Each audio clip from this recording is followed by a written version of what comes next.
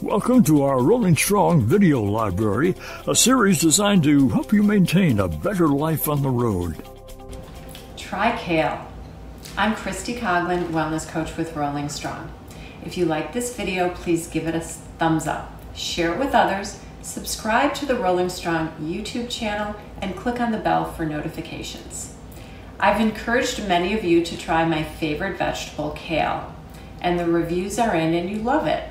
You've been putting it in salads, smoothies, and your air fryer.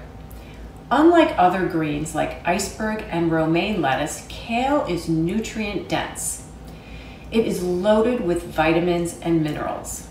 A cup of kale has only 33 calories, but also includes 2 grams of fiber and 3 grams of protein. Kale is a great source of vitamins A, C, K, and B6. It also contains calcium, potassium, and magnesium, just to name a few. Kale also can help with lowering your cholesterol levels, help to fight cancer, improve your eye health, help with weight loss and weight management, stabilize your blood pressure, and improve your heart health. Kale is a sturdy green that's much longer lasting than other greens, which makes it a great option for the road. It holds up well to salad dressing without getting mushy. You can even leave it a day with salad dressing on it and eat it the next day.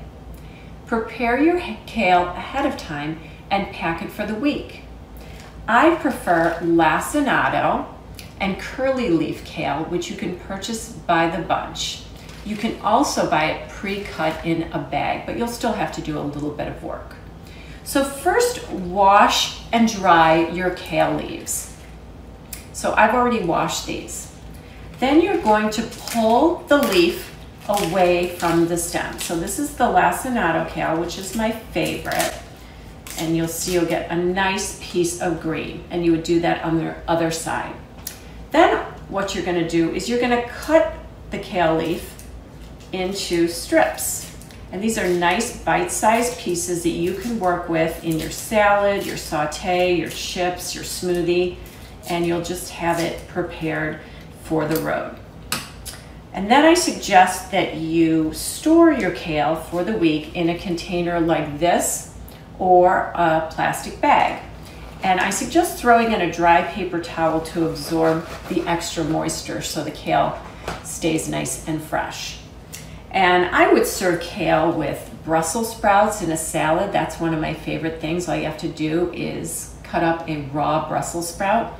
And then I also make this homemade dressing, which is much more affordable and healthy than the ones you buy in the store. And it just has olive oil, Dijon mustard, lemon, and a little bit of honey.